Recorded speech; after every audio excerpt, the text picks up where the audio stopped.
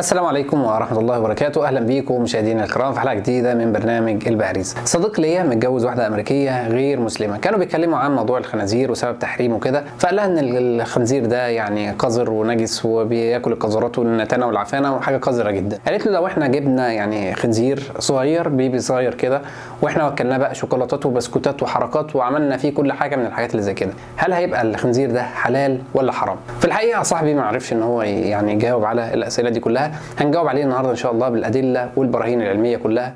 خلينا نوضح لحضراتكم إن عدد الأمراض اللي بيحتويها جوه جسمه قرابة ال 450 مرض. منها 57 مرض طفيلي وده بيتنقل لجسم الإنسان وممكن يقتله. مش بس كده لا ده يعتبر مصدر رئيسي للأمراض الوبائية لأن جسمه بيحتوي على 27 مرض وبائي. في حاجة اسمها إنزيم اليوريكاز الإنزيم ده بيبقى موجود في الحيوانات ووظيفته إنه بيكسر حمض البوليك وبيحوله لمادة ثانية وبعد كده المادة دي بتنزل في البول وبالتالي بيكون نظف وخلص الدم من السموم. وبكده بيبقى الحيوان لحمه طاهر ونقي وغير ضار لما الإنسان بيجي ياكله. انزيم اليوريكاز اللي بيعمل الكلام ده كله مش موجود في كلى الخنزير غير بنسبة 2% ولو بصينا وقارنا الحيوانات التانية يعني زي البقر والغنم والمواشي هتلاقي نسبة اليوريكاز أعلى بست أضعاف الموجودة في الخنزير وبالتالي بيبقى طعمها أحلى وغير ضاره لجسم الإنسان. النقطة رقم اتنين الخنزير بطبيعته بياكل البيبي بتاعه والفضلات بتاعته. طبعا المعلم لما بيجي يشرب البول بتاعه الحمض بيتراكم أكتر في جسمه. يعني شوفوا الفيديو ده أعتقد ان هو هيبين لكم حاجات كتير.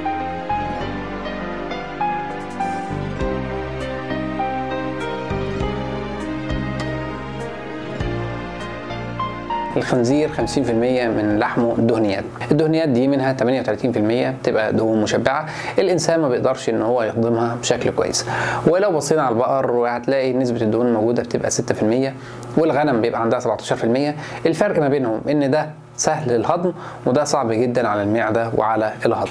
الهستامين والأميدازول دي بتسبب الحساسية وإكزيما الجلد ولحم الخنزير بيحتوي على كمية كبيرة جدا من الحاجات دي. الكوليسترول كلنا عارفين مدى الضرر بتاعه. لحم الخنزير بيحتوي على 15 ضعف الموجود في البقر. ولما الدهنيات دي بتزيد عن المعدل الطبيعي بتترسب في الشرايين وخصوصا في شرايين القلب وبالتالي بتسبب تصلب الشرايين. خامسا الخنزير فيه كمية عالية جدا من هرمونات النمو الهرمونات دي بتسبب ست أنواع من السرطانات. ضيف على ده كله نسبة الكبريت العالية جدا وبرضه الموجودة في جسم الخنزير. نعمين And this one I specially designed to go on Facebook. بعد الكلام اللي قلناه ده كله لحم الخنزير نجس وضار ومؤذي جدا للإنسان. العلة دي ما تتفكش عنه اطلاقا لا بتغيير نوع الأكل ولا نوع الشرب. والأضرار دي كلها دليل ذاتي على التحريم. وبكده يكون وضح لينا وجه الإعجاز العلمي للقرآن الكريم. وبكده نكون وصلنا لنهاية الحلقة النهارده. كان معكم عبد الرازق مغاتا لو عجبك الفيديو ما تنساش تعمل share و like و subscribe لل channel بتاعتنا. نشوفكم بحلقة جديدة. والسلام عليكم ورحمة الله وبركاته.